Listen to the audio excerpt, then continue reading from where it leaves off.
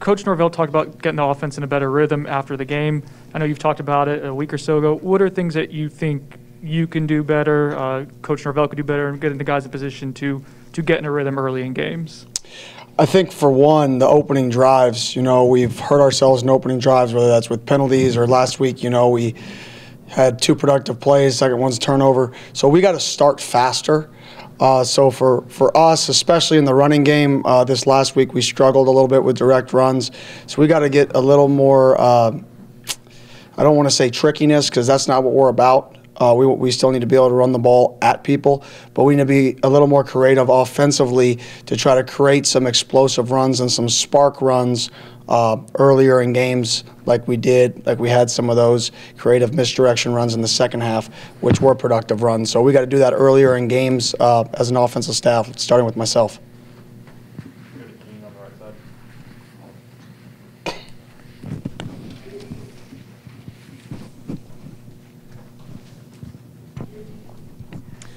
Hey, Kenny, good afternoon. How you doing? Good. Uh, I want to ask you about you guys. It seemed like you had a plan to switch quarterbacks early in the game uh, for the first couple series. Is that still something you guys want to implement in this offense? Is it maybe you go back to the drawing board and look, maybe stick with one guy? What's the thought process there and going back and forth with the QBs? Well, they both have a unique skill set. You know, they're they're both different players and they both add add value uh, when they're on the field. So we did have a plan uh, early to kind of go drive, drive, and then kind of roll with uh, the hot hand from there. And uh, yeah, that's something we're going to continue to evaluate, and continue to, to work through. Uh, obviously, Jordan's availability the last few weeks has been kind of throughout practice, so uh, we'll see how that goes this week because that will have an effect on uh, on obviously that thought process. Now, obviously, you guys are not satisfied with what's going on with short yardage. You guys, I know you work on a lot of that in practice, those situations, but obviously, it's it's not working well, and that it kills drives for you guys. What do you, what can you do to try to rectify that issue? Is it is it personnel changes? Is it changing play calling? What's at the bottom of that? I think just understanding who we who we are. I mean, you you look at week one, and we were successful in that situation.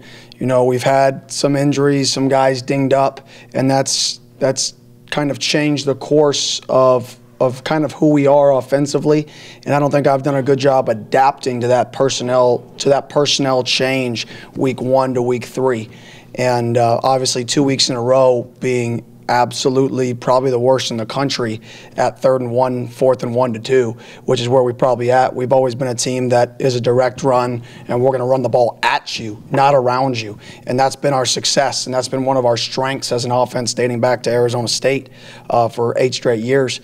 That's something the last two weeks that has been a struggle, and uh, we're going to have to adapt our plan around uh, the guys that are on the football field, and we're going to have to do a better job as a staff, starting with myself. Uh, to put our guys in a position for them to succeed, uh, not just things that we've done in the past that have been successful. When Jordan is um, in the game, are, are teams doing anything differently to, to uh, take away his running ability, or is, is it just not come out of the flow of the game? Uh, obviously, week one there was different plans uh, for both for both guys, and you could you could see that uh, you know, when McKenzie hit the field versus when Jordan was on the field week one. Uh, week two, Jordan was on the field so limited. Uh, we really didn't get to, to see what a specific plan was in week two. And week three, um, there was a very minor change to what they did, but I would say it was about 70 30, 70 the same, 30%. They played a little more cover two into the boundary when Jordan was in, obviously trying to keep zone eyes on him that would, to prevent the scrambles. Uh, but for the, I would say 70 30, it was the same as uh, how they played uh, uh McKenzie. Ken, if you can walk us through, I know you guys script a ton of plays ahead of time before even going into the game, but what is the, the workflow with you in the booth, Mike down on the sidelines? What like play calling? How does that all play itself out each week? Well, every week we go in, we get a first nine together, uh, which is basically it's a sequenced first nine that you only get off the first nine uh, unless there's a uh, outstanding circumstance like a second and 17 a third and a third down in some capacity, and then which we go to our sequence third down calls, which we have an order of which third down calls we like based off third and one to two, what our top call is, third and four to six, third and seven and eight. So I would say, especially early in games. Uh, and going starting the second half, we're, we're very scripted in terms of exactly how we want to attack a defense uh, and what those calls are going to be. Uh, so me and coach communicate. There's a, I mean, we've been working together for a long time. I mean, there's, it's really just status quo from that standpoint. But at the end of the day, I mean, every, everything's a reflection of myself, and I've got to find a way to score points. I got to find a way to help our guys, put them in a better position to score points, and find a way for us to stay out of our own way. Because we didn't get penalties this week, but we had five turnovers, technically six, but I don't count a hail mary. But five turnovers in a football game. Um, you, you, that's just that's not a recipe for success. Um, 52 plays is not a recipe for success.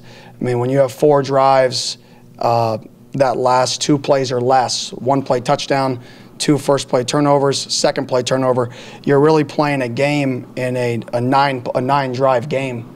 Uh, when you have a nine drive game, you're really playing two and a half quarters of football offensively in that situation, and then you don't score when you get down to the one yard line. All those little things add up to 14 points in a football game, which is unacceptable. McKenzie hasn't had a lot of failure on a football field, um, really in his life, probably. Um, how's he handling this, and uh, you know, especially a game like that where he was credited with a lot of those turnovers? Yeah, uh, he's competing. I mean, I think that's the that's the, the the, the best thing. And I told our guys yesterday is we're all in this together to compete to be the very best we can be. All right, there's no hanging your heads. There's no woo is me. Who cares what everybody says? We're gonna do whatever we can to be the very best we can be. And how do we do that? We all take care of ourselves. We all show up every day and we try to get a little bit better and a little bit better. If you worry about what's happened in the past, if you worry about what people are telling you, if you're if you're sad every day because of how we started, I mean, I feel bad for you in the real world because when that thing hits you, well, welcome to it. Right? You got to find a way and our guys eventually the work we're putting in right? It's like the old bamboo saying, right? The work you're putting in, you don't know it's growing roots, and then all of a sudden it spurts 90 feet, right? We don't know when that 90 feet is going to happen. And I keep telling them, I wish it happened last week. I wish it happened week one. I don't know. But if we keep putting in the work, eventually that bamboo tree is going to start growing. And that's our challenge is not many people are going to stay true to the process when bad things happen. Not everybody just wants to jump ship and change, right? There is no change. There's a recipe for success. It's hard work. That doesn't mean you're going to be successful. It just means it's the recipe. Eventually, I don't know how long it's going to take, but the hard work is going to pay off and the tree is going to start sprouting. And that's the message to the guys. And the practice we had yesterday was one of the best Sunday practices since we've been there. And that doesn't guarantee success, but it guarantees that we're getting better. And it may not show up every day, but it shows up for us in practice. And eventually, these kids, these players, are going to reap what they sow. And I hope it happens for them sooner rather than later.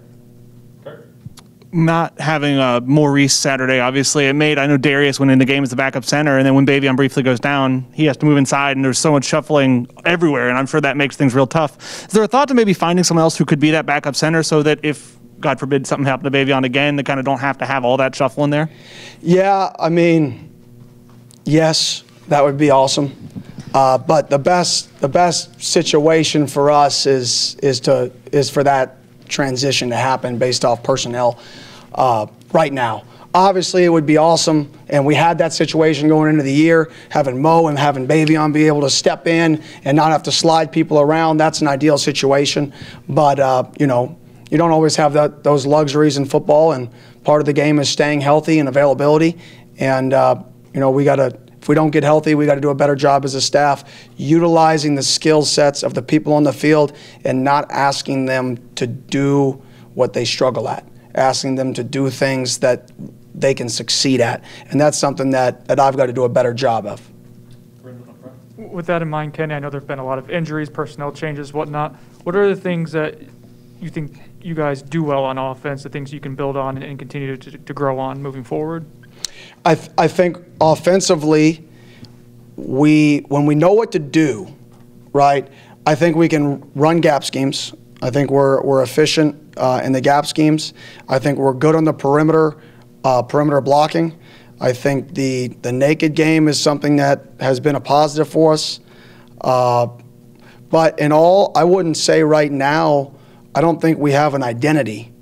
I think with all the shuffling of of injuries or quarterbacks slash offensive line shuffling, uh, I don't think we've established a true identity of what are we good at because every week it could be something else. One week we are a lead at third and one to two. We line up in the Wildcat and score versus Notre Dame.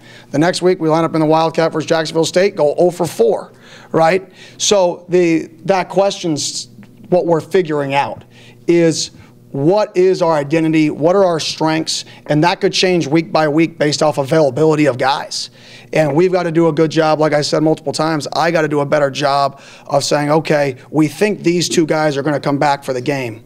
So we think the plan is based around these two guys. Well, they don't come back. All right, what can we do if they're not in? Because that's a completely different game plan with them not in. And how do we prepare for both with our guys? And that was something that uh, that caught us this last week was the plan versus the people. And we had a good plan, but when the people changed, we needed to adjust our plan. And um, I didn't do a good good enough job of adjusting that, especially in those third and short situations. It seemed like it didn't seem like Wake Forest was necessarily like selling out to stop the run, especially when you guys run a lot of four or five wide. They only had like six six in the in the box. Um, did you guys feel like you went away from the run because of score and getting behind, or or were there more opportunities to to run the ball? No, we just struggled. In all reality, we struggled blocking them.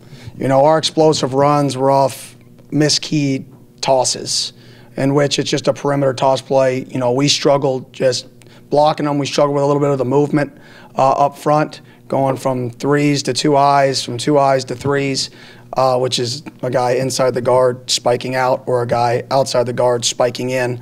Uh, we just struggle with a little bit of the movement, but you're exactly right. I mean, they they they blitzed us two times in the football game on base downs. They lined up, they played man free, and they said man to man, play ball.